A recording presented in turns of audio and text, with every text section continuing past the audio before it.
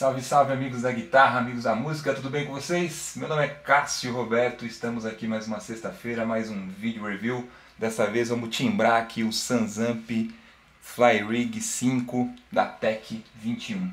Né? Uma coisa muito importante sempre, que eu sempre recomendo para as pessoas é dar uma lida no manual, estou com o manual aqui dele impresso. Se você não tiver o manual impresso, procura na internet, sempre tem os produtos, agora sempre vem com com os manuais, né? Ficam disponíveis online. Então eu vou, baseado aqui no manual, dar algumas dicas para vocês desse pedalzinho compacto aqui, um, uma pedaleirinha, um conjunto de pedais é, da Tech 21. Estou usando nesse review aqui a Gibson Studio para gravação, o Fly Rig está direto em linha, ali no Logic eu não estou usando nenhum simulador de amplificador, nada. É direto na linha só para ver o som dele, já que ele tem um Sansamp ali dentro dele, então é importante já ver como é que esse cara funciona em linha. Depois o amplificador, você vê como é que ele casa melhor aí com o seu ampli. Então direto aqui para ele, ele tem esses controles aqui, um controle de plexi, um Sansamp aqui e um delay. Nesse Sansamp ele tem um reverb junto aqui, além dos controles de High, Mid, Low e Drive. Aqui no Plex ele tem o Level, Tone e Drive, e esse Hot aqui é o boost dele, né? Aqui no Delay nós temos o Level, o repeats, o drift e o time. Então, o som limpo da guitarra é esse aqui.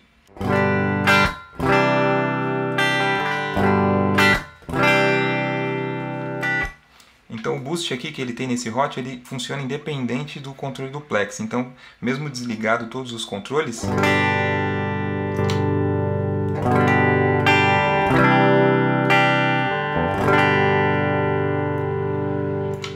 dá um boost aqui no seu som de até 21 dB de acordo com o manual. Vamos ligar aqui o Plexi.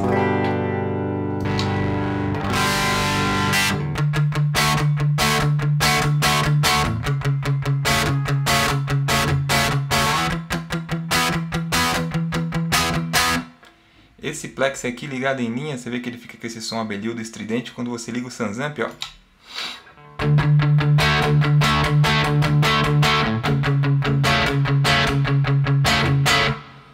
Que o som fica muito melhor se você ligar aí o Plexi com o Sansamp, isso em linha, né? Ligado direto no amplificador, você pode usar o Plexi como um drive e como o próprio nome já diz, ele vai seguir a onda aí do amplificador clássico Plexi da Marshall, tá? Então vamos mexer aqui nos controles, deixando o Sansamp ligado, é, vamos mexer aqui no drive aqui do Plexi. Então esse aqui é o som atual.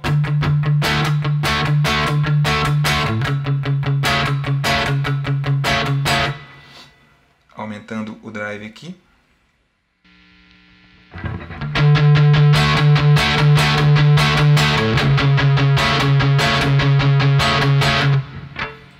Bacana, né? Tirando um pouquinho do drive. Aqui quem está me ajudando nesse review é o meu companheiro Mário. Conhece o Mário? então aqui no tone, mais aberto ou mais fechado.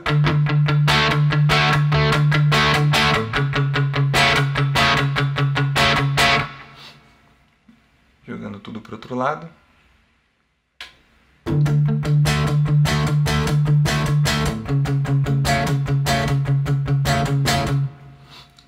Então aí o Tony aqui bem fechadão, né? O controle é bem pequenininho, mas é muito legal numa situação de palco porque todos os controles acendem, né?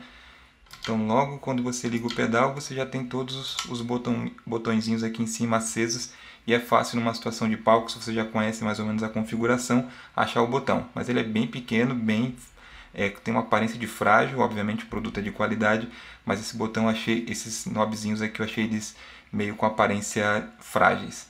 Vamos aqui no Sansamp agora.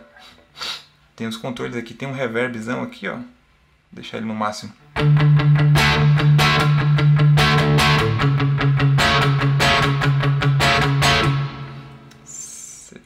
Só um reverb aí no fundo. Sem o reverb zerado aqui.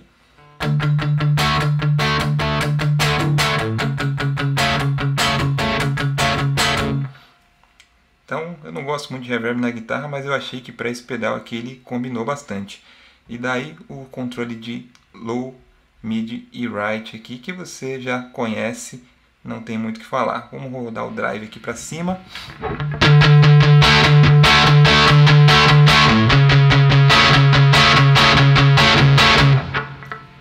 Ganho significativo, aí aumentou um pouco o ganho junto com o drive. E o último controle aqui é o delay. O delay é legal porque ele tem o controle de tap tempo, né? Então você pode marcar o tempo hum, hum, de acordo com a sua necessidade.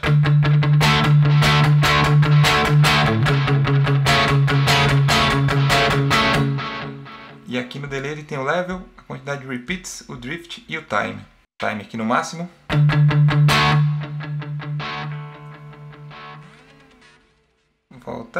Drift no máximo.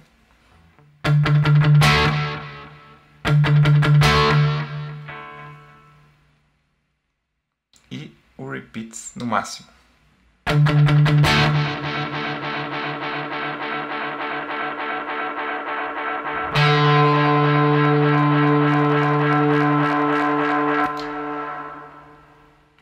Você vê quando eu desligo o delay ele fica soando ainda um tempinho, né? Muito interessante também essa, essa pegada aí do, do, do Sansamp. Então o tap, como eu disse,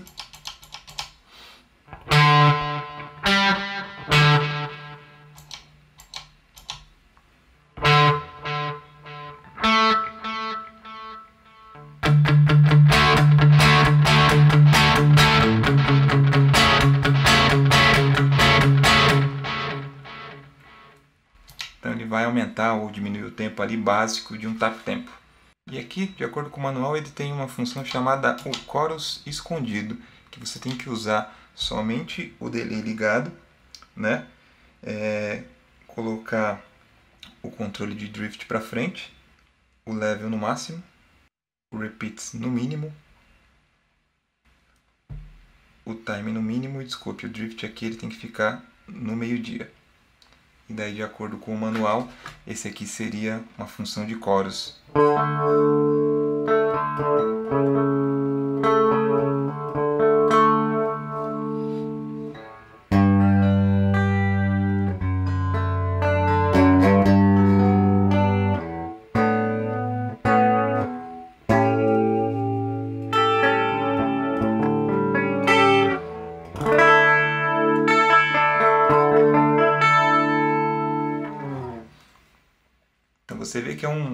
Uma função bacana aí para você utilizar, né? Se você precisar de um chorus, por exemplo, tem aí. O manual diz para não ligar o drive junto, mas vamos ligar aqui o Plexi. E o Sansamp também, obviamente.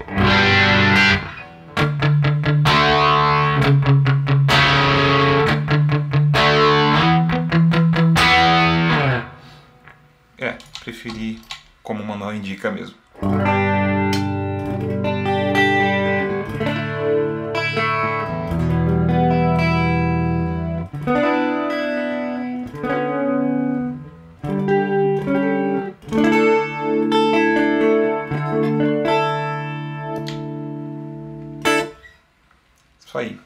Esse aí foi um fast review aqui do Timbrando, uma série que agora vou lançar, Timbrando alguns pedais aí. Pensei em lançar um nome em português, porque os vídeos são em português, né? Então, tá, alguém já deve estar usando esse nome por aí em algum título, em algum canal mais famoso que o meu, mas não importa. Importa é que a série vai se chamar Timbrando toda vez que eu for fazer um review rápido. A leitura do manual é importante porque assim como eu fiz o review do outro pedal da Tech 21 Sansamp, é, ele traz no manual algumas opções de configuração. Aí não vai dar pra ver, mas eu vou deixar o link do manual também na descrição desse vídeo. Mas aqui, por exemplo, ele tem um Classic Rock, um Steve Ray Vaughan Style, um Rockabilly Roots, um Gilmore Floyd Style, U2 The Edge Style, The Police Style. Então ele tem várias opções, Van Halen, ACDC e algumas opções aqui no manual para você, quando criar suas configurações, você anota aqui e guarda para nunca esquecer. Então, a, sempre recomendo, leia o manual que é muito importante, beleza? Então, esse foi o vídeo dessa semana. Se você curtiu, se você gostou, dá um joinha nesse vídeo. Não se esquece de se inscrever no canal. Toda sexta-feira tem um vídeo novo falando de música, falando de equipamento, falando de gravação em home studio. Então, não deixe de conferir, tá bom? Meu nome é Cássio Roberto, mais uma vez agradecendo sua audiência e paciência. Se cuide, um abraço e é nóis.